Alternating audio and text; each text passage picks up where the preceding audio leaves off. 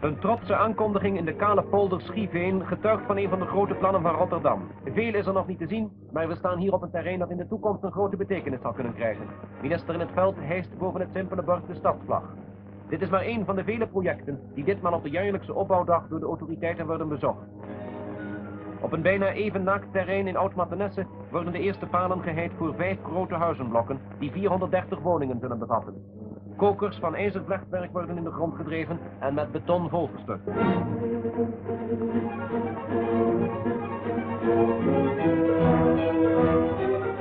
Dan staat het gezelschap op de fundamenten van een kerk voor de Lutherse gemeente. Rotterdam heeft bij het bombardement namelijk ook 21 godshuizen verloren. Hier zal nu de eerste nieuwe kerk in het westen van ons land worden opgetrokken. Binnen het jaar hoopt men het kerkgebouw in gebruik te kunnen nemen.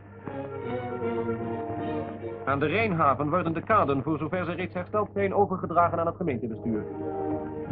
Het resterende gedeelte zal met spoed worden voltooid.